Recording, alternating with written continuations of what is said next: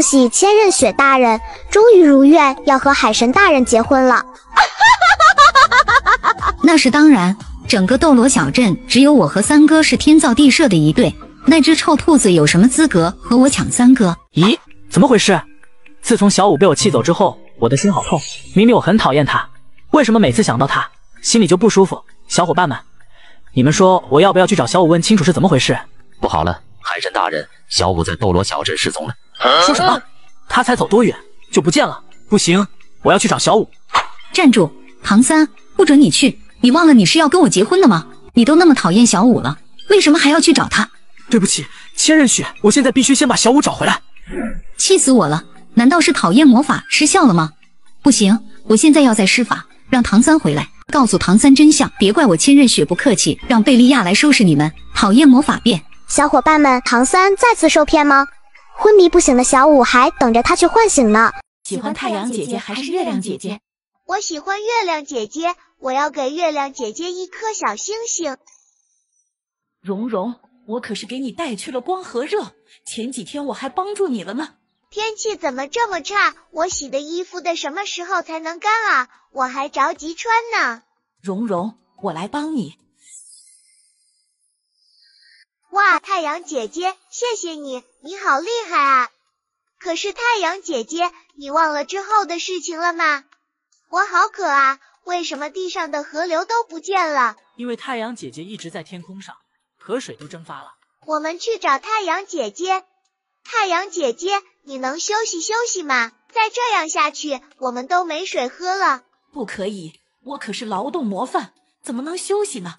我要坚持工作。太阳姐姐，虽然你帮助了我，可是你总在天上，我们会没水喝的。所以我投月亮姐姐一票。谢谢你，蓉蓉。哼，白眼狼，我努力工作有什么错？我也来投票了。我给月亮姐姐一颗小星星。五六七，你不是说最喜欢白天吗？是啊，白天可以玩游戏，我当然喜欢白天。可是我也要睡觉啊！太阳姐姐，你能回去休息休息吗？我已经好几天没睡觉了。你在天上这么亮，我没法睡觉，我好困啊！不行，我要坚持我的工作，做最勤劳的姐姐。只有月亮姐姐在天空的时候，我才能睡个好觉。所以我要把小星星投给月亮姐姐。谢谢你，五六七。喜欢月亮姐姐的都是想偷懒的人。谁说的？我也喜欢月亮姐姐，我也给月亮姐姐一颗小星星。小雪，你种的树可是我帮你长大的。小树，小树，你要快快长大啊！我还等着吃苹果呢。小雪，我来帮你呀。我的阳光可以促进植物生长，真的吗？谢谢你，太阳姐姐。看我的吧！哇，太棒了！我的树长大了，一定能结好多苹果。我帮了你，你怎么能不给我小星星呢？我还没让你陪我苹果树呢。小雪，你怎么在这哭啊？唐三哥哥，我的苹果树怎么变成这样了？我吃不到苹果了。哎。太阳姐姐一直在天空上，地面又热又缺少水分，植物都被晒死了。都是因为你一直在天空上，我的苹果树才会枯萎的。我不喜欢你，我我又不是故意的。我也不喜欢你，我喜欢月亮姐姐，我给月亮姐姐一颗小星星。冰公主，我又怎么得罪你了？你一直都在天空上，我的冰雪世界都被你的热量融化了，现在那里只有沙粒和石头。我怎么可能喜欢你，月亮姐姐？冰雪世界欢迎你去做客。谢谢你，冰公主。哼，太过分了！我努力工作，给童话世界带来温暖和光明，他们还这么讨厌我。我要回去了，再也不来童话世界了。太阳姐姐，你等等，没有你，大地是无法诞生生命的。没有你，我也会暗淡无光。这两颗小星星送给你，他们也一样喜欢你，只是你太努力了。才会给他们带来了伤害。那好吧，以后咱们轮流在天空上，这样我也能休息休息。小伙伴们，太阳和月亮对于人类都是特别重要的。你更喜欢白天还是更喜欢黑夜呢？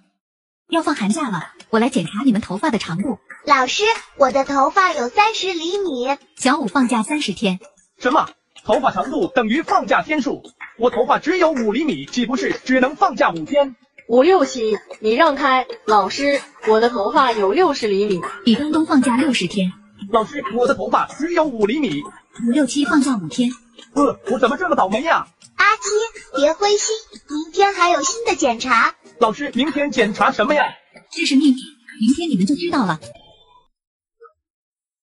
五六七，你怎么变成长头发了？这是我妈妈的假发。昨天老师用头发长度决定放假天数，我头发短太吃亏了。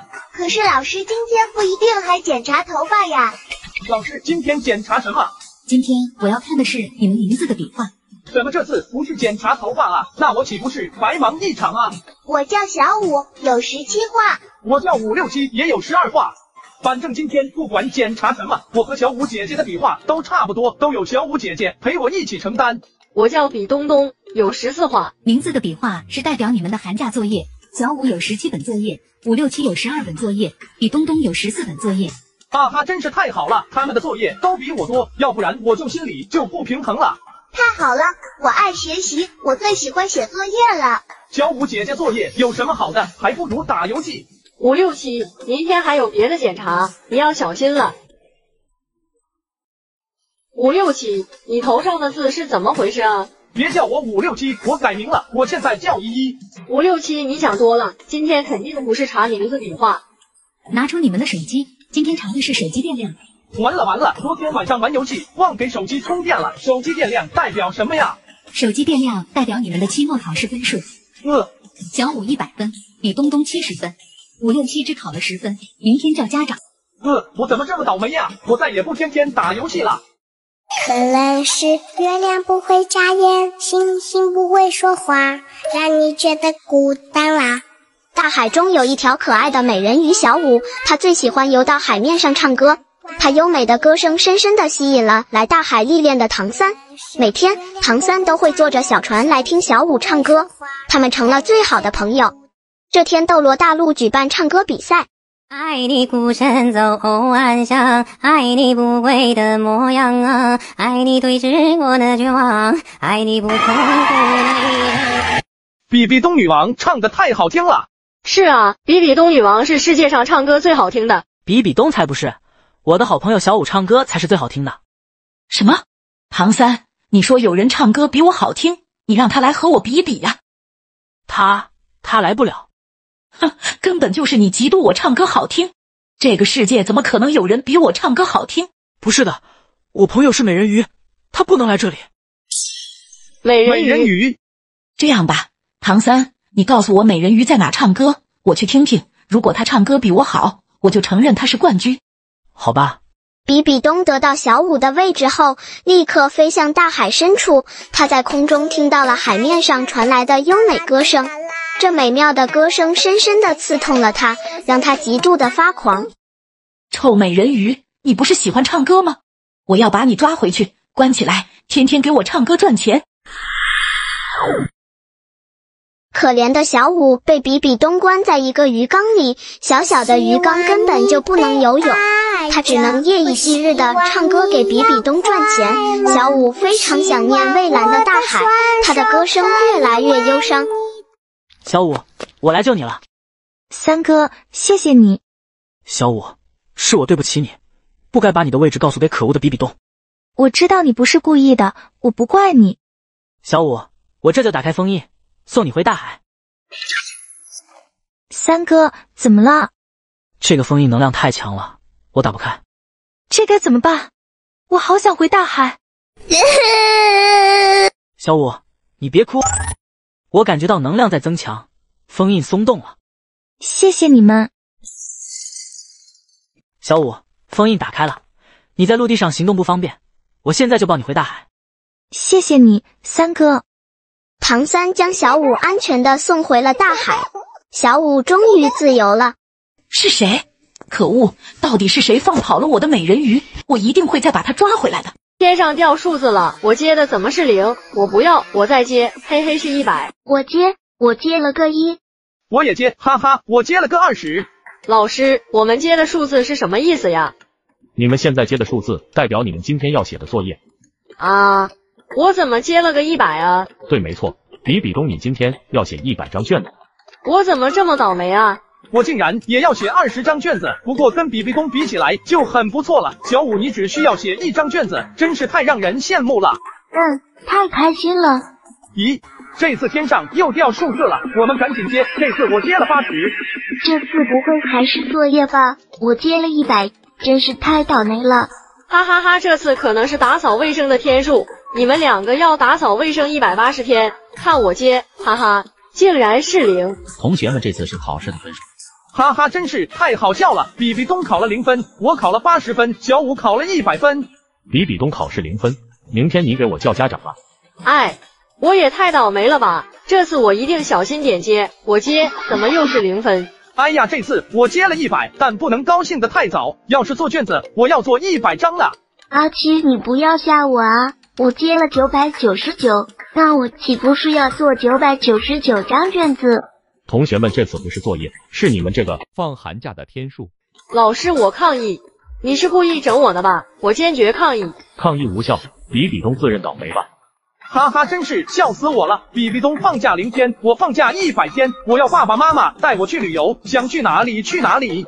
我放假九百九十九天，这次我要痛痛快快玩个。大家快把珍珠盖起来，塑料袋我套。我听小五姐姐的，我用被子盖住珍珠。比东东五六七，你们也快把珍珠盖起来。哼，我才不盖呢！珍珠这么好看，我要嘿嘿把它扔掉，我扔。呀，五六七，你太过分了，干嘛扔掉这么好看的珍珠？哼，好看才要扔掉，女生才喜欢好看的东西。我一个男生打扮这么好看干嘛？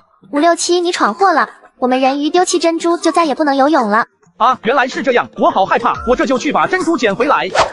糟糕，他来了，快把珍珠盖起来。啥？谁来了？谁？根本就没有人嘛！哼，这么美的珍珠我才不要盖起来。对不起了，李东东，我只能用墨水，我泼。啊，小五，你干嘛泼我墨水？我的珍珠都不亮了。什么珍珠？珍珠在哪？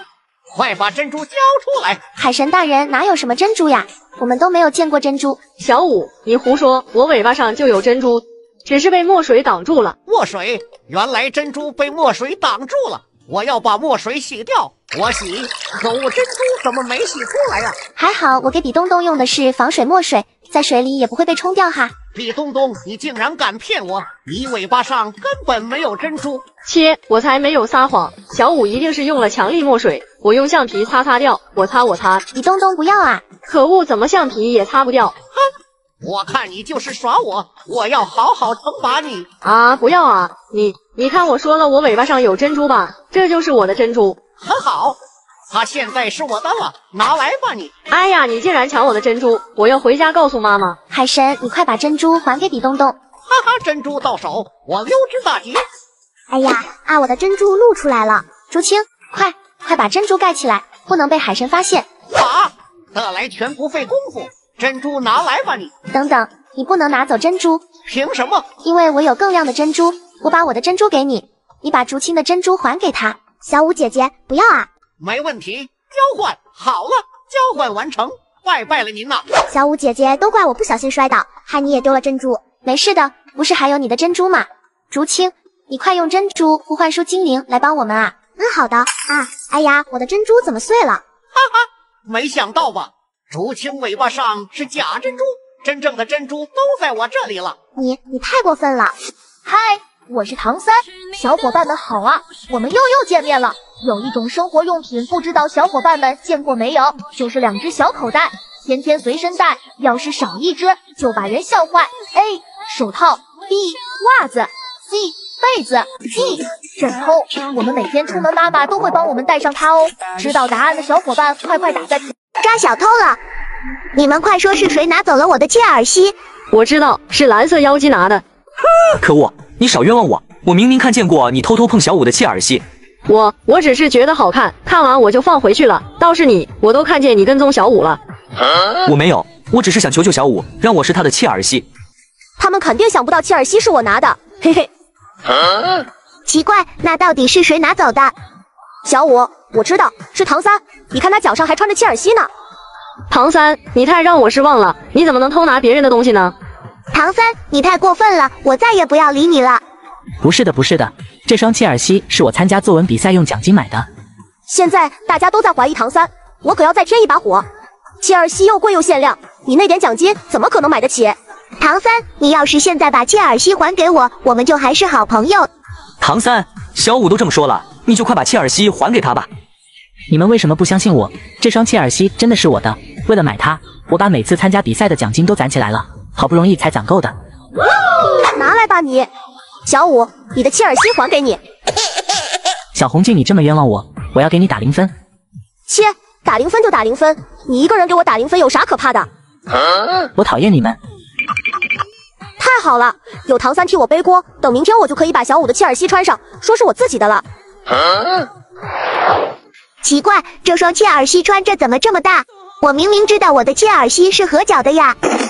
哎呀，疼死我了！不对劲啊，这双切尔西不是我的，看来我真的误会唐三了。我我要赶紧把这双切尔西还回去。为什么大家都不相信我？唐三，可算找到你了。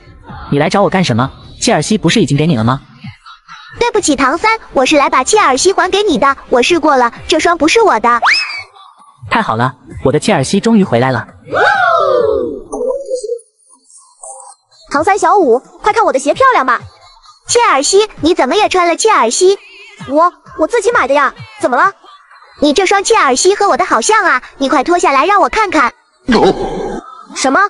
你的切尔西不是已经找到了吗？不就是唐三拿的吗？不是，小五已经把我的切尔西还给我了。我不能让小五发现真相，我才不脱！你怎么能无缘无故的怀疑我呢？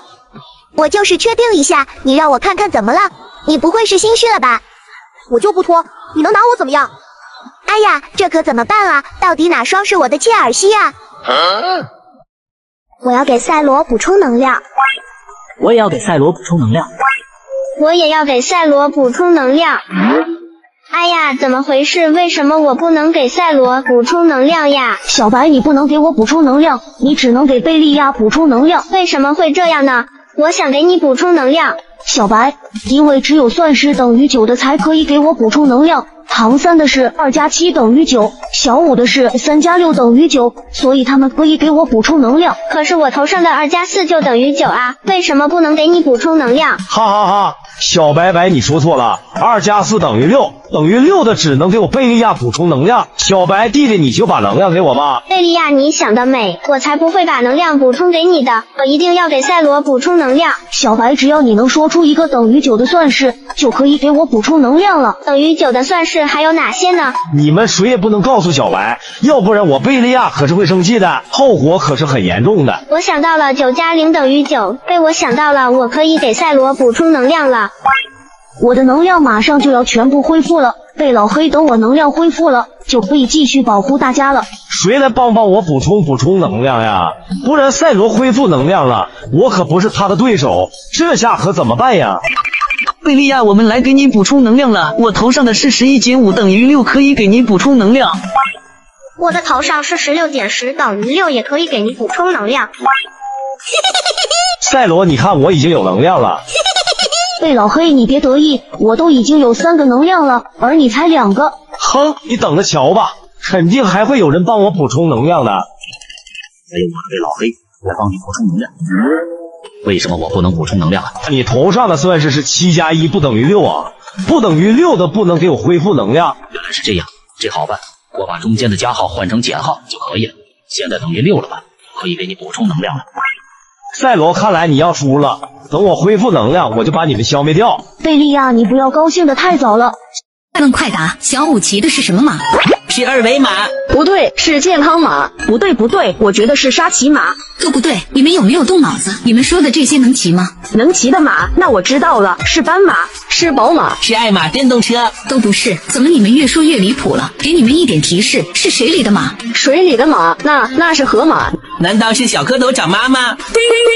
啊，我知道了，老师，水里的马应该是海马，小五骑的是海马。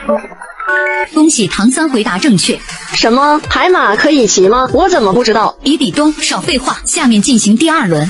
第二轮比赛开始，请问比比东开的是什么机？老师，比比东开的是大公鸡。我记得有句歌词是这样的：舒克舒克舒克，开公鸡的舒克。不是不是，公鸡怎么能开？我觉得是手机，应该是拖拉机。不对不对，大家能不能好好想想再回答？那一定是时光机，是打火机，是直升机。唐三回答。嘿嘿，太好了，我回答对了。不是不是，我是想说你已经快接近正确答案了，大家再仔细想想。怎么还不对啊？啊，我知道了，是超级飞机乐迪。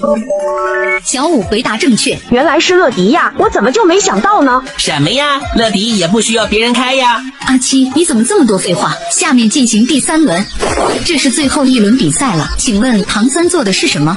老师，我抗议，为什么他们几个都有图形问题，就我没有？抗议无效，你就是一个打酱油的配角，配角懂吗？好了，现在开始回答。好吧，我觉得唐三开的是罐头。阿七，你再捣乱，我就把你赶出去。提示一下大家，这是一种交通工具，交通工具是自行车。小五，这怎么可能是自行车？自行车没上面那么大，我觉得是小汽车。不对不对，是公交车，是地铁。回答错误，大家仔细观察一下，看看它有什么特点。特点的话，我看到它有一个炮管，我知道了是大炮，是军舰。阿七，怎么可能是军舰啊？你看它下面是有轮子的，我觉得应该是虎式坦克。小五回答正确，唐三开的就是坦克。小五，你眼睛不好，我帮你拎水吧。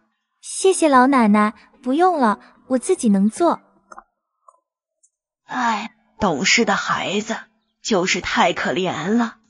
你们看，那个没有爹妈的虾小五又出来捡垃圾了。臭小五，你什么都看不见，还出来干什么？我我想尽自己最大的力量做些事情。哼，不理这个笨蛋，咱们去海边捡贝壳玩吧，说不定还能捡到好吃的小鱼呢。小鱼，我也要去海边捡小鱼吃。咦，好可爱的小妹妹！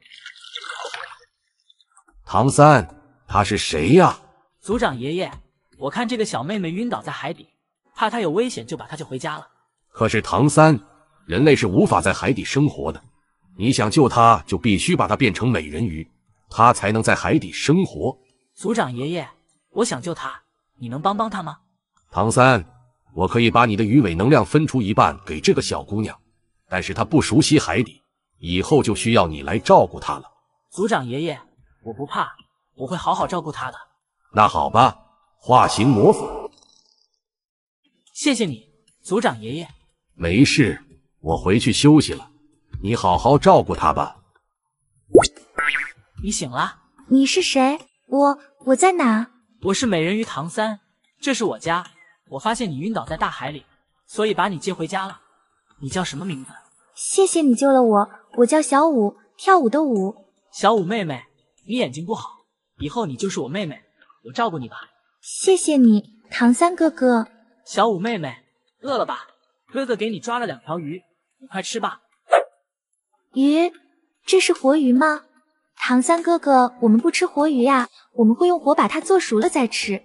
啊，对不起，小五妹妹，我忘了，我们大海里没法点火，这样我用魔法把它变成熟食。好了，现在你可以吃了。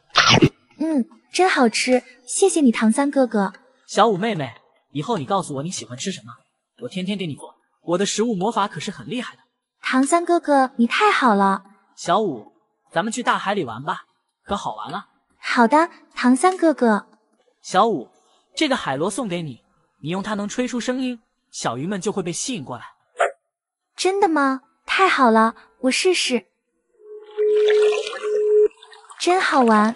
小五，你先玩，我去族长爷爷那一趟。好的，唐三哥哥。咦，哪来的虾美人鱼？怎么手里拿着唐三的海螺？我跟他要，他都不给我。喂，你是谁？从哪偷的海螺？快给我！不是的，这是唐三哥哥送给我的，我不能给你。什么？这不可能！我跟唐三要，他都没给我，凭什么给你这个瞎子？你快给我拿过来吧！不要！你还我的海螺！什么你的？海螺现在就是我的了。比比东美人鱼，你别走！你为什么要欺负我的妹妹？你哪来的妹妹？小五就是我的妹妹，你快把我妹妹的海螺还回来！不然我就要收拾你了。你你太过分了！为了一个不知道从哪来的妹妹，竟然威胁我！你给我等着！小五，给你海螺。对不起，唐三哥哥，惹你和比比东姐姐吵架了。没事的，小五妹妹，比比东美人鱼总欺负别人，咱们不理他。哎呀，你怎么流血了？疼不疼啊？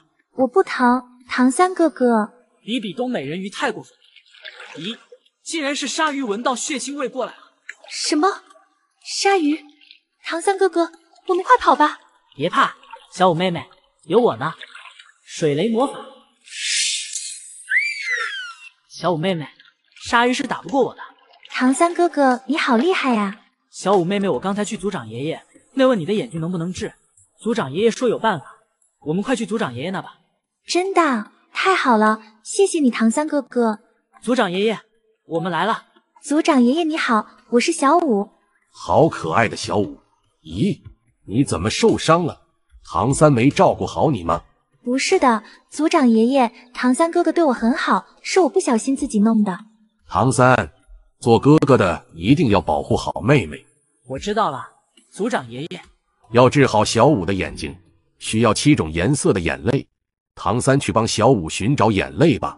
七种颜色，都是什么颜色呀？哎呀，这可糟了，我不知道七种颜色都有什么颜色，这可怎么找啊？谁能告诉我呢？我好想帮助小五治好眼。好了，大家开始选同桌吧。我选十三当我的同桌。我不要，蓉蓉和我都是九十分，我要选蓉蓉当我的同桌。好的，十三。那我要和唐三做同桌。我才不要呢！你才三十分，我要和八十分的小雪做同桌。好的，三哥。这可怎么办呀？都没有人愿意和我做同桌了。五六七，你只有三十分，大家才不想和你做同桌呢。不是这样的，五六七，我来当你的同桌吧。真的吗？小五可是你一百分，我只有三十分呀。没关系的，五六七，我可以帮助你。小五是不是傻？五六七只有三十分，他肯定会说你后腿。不是的，三哥，我们不可以用分数去评判一个人的好坏。那好吧，既然大家已经选好了同桌，那大家就来比一比谁的同桌最厉害吧。好的。老师，我强烈要求换同桌。老师。我也要换同桌，为什么？小雪十三不是你们自己选的同桌吗？不行，就要换。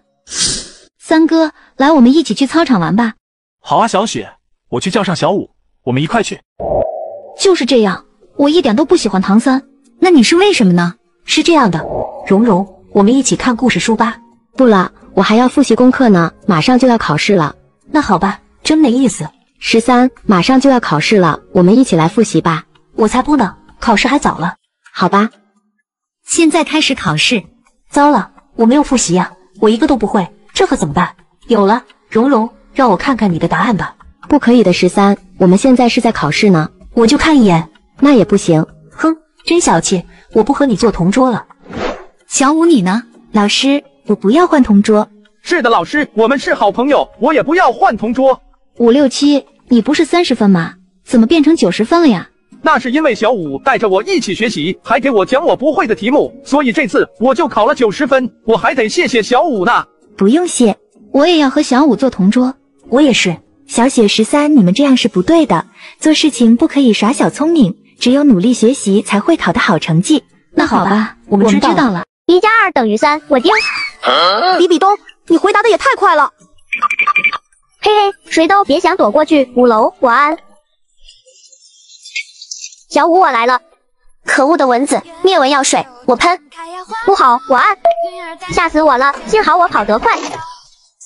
小敖、小青，你们谁先来？当然是我。两百四十六加六四二等于多少？哎呀，这也太难了，我算不出来。那你不能盯我了。其实我是故意的，我就是不想让蚊子叮，被蚊子叮一下太疼了。那我叮小青，小青快出题吧。听好了，三点一四。停停，别以为我看不出来，你头上的算式根本没有三，别想忽悠我。我可没忽悠你，派是圆周率只是一个简写，我得把它念完你才能答题。是这样吗？那你念吧。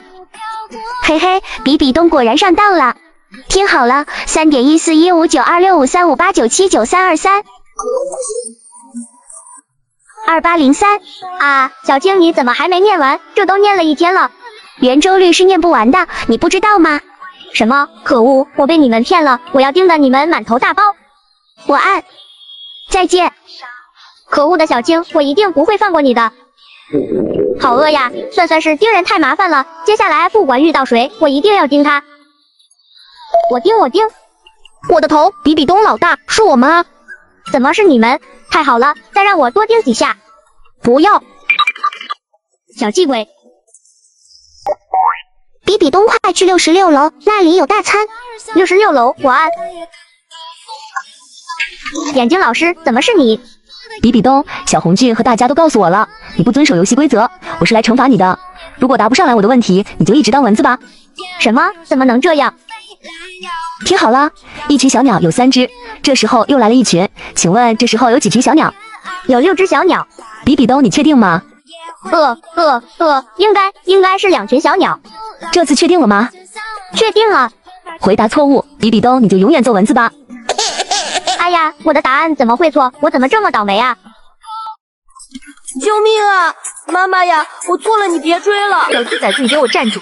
你看我今天不好好收拾你！妈妈，那真没办法呀，那真不是我的错，逼不得已嘛。快住手！有什么话好好说，不能动手啊！哼，你自己问问他做了什么好事情，这都是打得轻了。啊，小乖乖，这是怎么了？你跟我说说，为什么妈妈要打你？今天妈妈包饺子，我觉得和面很好玩，我也想学一下。然后呢？你继续说，你然后干了什么？因为我够不着水龙头，所以我就在面里尿了一泡尿。然后中午妈妈不知道，就拿这个面直接包饺子。我就说今天中午的饺子怎么吃的味道不对呢？一股子馊了的味道，还以为是你妈妈弄的新品种，原来是你小子。真是三天不打上房揭瓦！小五，棍子给我，我今天要让他尝尝棍子炒肉到底好不好吃。这里怎么有这么多带翅膀的人啊？这是我们神界的预备天使，只要是有人选择他们，他们就会变成真正的天使。我是你内心里的那位天使，选我选我，请把我带走吧。这个天使怎么看起来胖胖的，一点都不可爱？我还是选择这个黄色头发的天使吧。谢谢你选择了他，他会守护你一辈子的。终于有人选我了，我要成为真正的天使，去守护善良的人了。小舞东东，演员再见。为什么没人喜欢我呀？我也想成为天使啊！还有我，也没有人喜欢我，都不选我。要是没人喜欢你俩，你们就不能变成真正的天使，去守护善良的人。再等一会吧。说不定马上就有人来选择我们。你好，唐三天使，我想选择一个天使守护我。你可以自由选择天使，你看看你要选择哪一个？选我，选我！我虽然比其他天使老一些，但是唱歌跳舞我都会。选我，选我！我不仅会唱歌跳舞，我还会八段摔，可以很好的保护你。太难选择了，我内心好纠结呀。要不这样，让他俩比试一下，谁赢了你就选择谁。让我先来。直到太重了，梦想就变成海洋，鼓的眼睛，大嘴巴，同样长得像无激荡的波涛，也从不在梦里飘摇。白月光在照耀，再想起他的好，朱砂痣就难消，你是否能知道？这下我更不知道要选择谁了。呃，小伙伴们，你心里那位天使是谁呢？